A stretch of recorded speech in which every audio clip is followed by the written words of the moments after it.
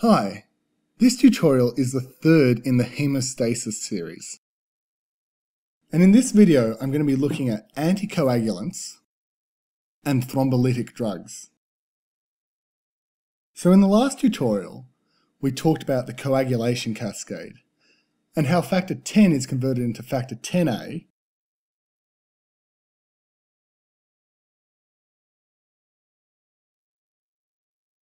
Factor 10A catalyzes the conversion of prothrombin into thrombin, which in turn catalyzes the conversion of fibrinogen into fibrin. We also looked at how factor 10 can be converted into factor 10A by the intrinsic pathway or the extrinsic pathway. Now we're going to have a look at how some drugs act on this pathway. But first of all, we've got to add in another couple of elements. The first one is an endogenous, meaning present in the body, compound known as antithrombin 3, and it's an inhibitor of 10A.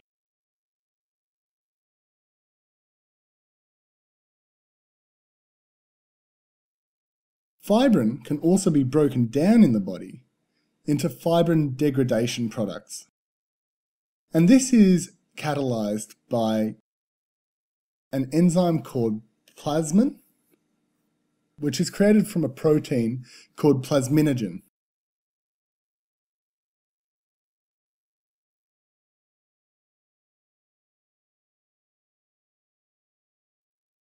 So a couple of very commonly used drugs are heparin, or its cousin, low molecular weight heparin, or LMWH for short.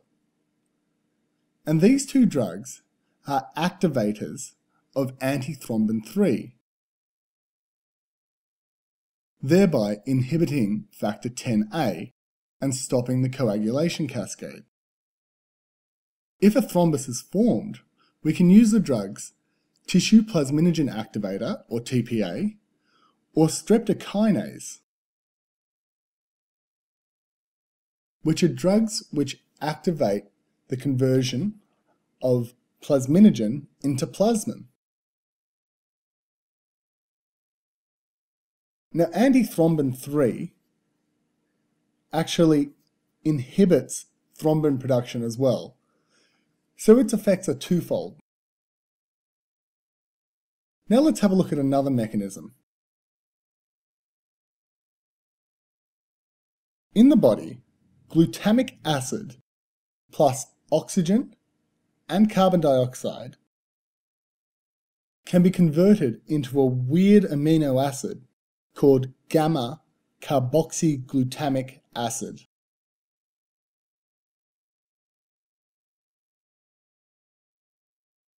And this strange amino acid is a component in factors 2, 7, 9, and 10.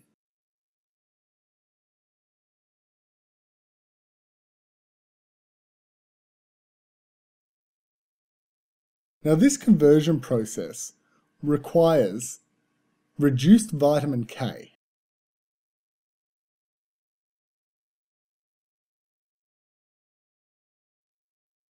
which then becomes oxidized vitamin K so it helps reduce the glutamic acid reaction. Oxidized vitamin K then gets converted back into vitamin K and then again into reduced vitamin K. And this occurs by the action of an enzyme called vitamin K reductase, which acts at both steps.